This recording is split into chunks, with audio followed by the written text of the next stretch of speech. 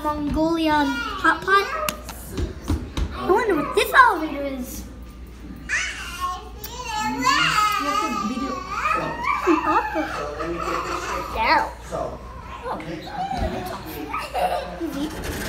Elevator's here. Keep I'll hold it. Ooh. Oh! This is a ThyssenKrupp elevator. Hallelujah. Hallelujah. I've never heard of this one too. I've heard of um Tyson crump elevators. Oh, really? I mean, yeah, ThyssenKrupp. I've never seen one, Jake. I've seen these. I can tell you why. I watched them on YouTube.